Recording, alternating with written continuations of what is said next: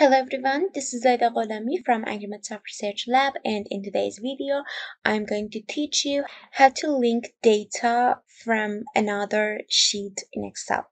So let's say I have two sheets in here, A and B, and I want to uh, call some data from sheet B in my blank sheet in here, okay? The first thing you should do is to put an equal mark and then you want to type the name of that sheet which you want the data from. Okay, so here the name of my other sheet is B. After typing the name, you need to put an exclamation mark. And then the other step is to type the cell number in that sheet. So let's say in here, I want to call the first data in average of precipitation column. So it's B2, okay? So I want the B2 in here. After I have the name and then the exclamation mark, I will type B2. And now you can see this is the number in here. So that's one way.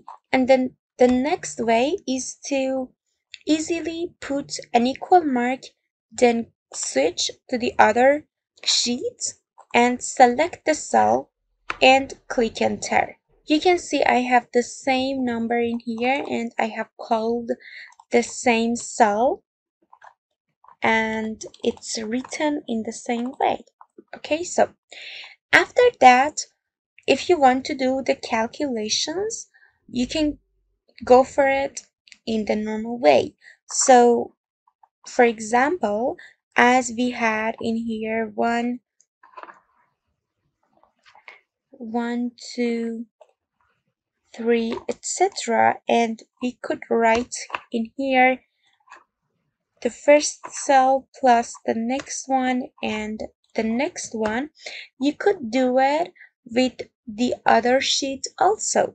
So all you will do is to put an equal mark, go to the other sheet, and then select the cells and sum sum them up and then all you have to do, you can see the formula in here. Then all you have to do is to click enter. And that's the calculation done.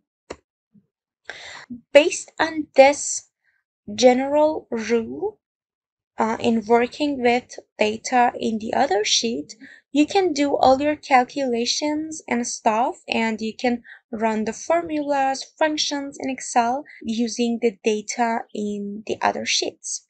So that's it for today's video. I hope you learned something new. Please don't forget to give this video a thumbs up and subscribe to the channel. I will see you in the next videos and bye.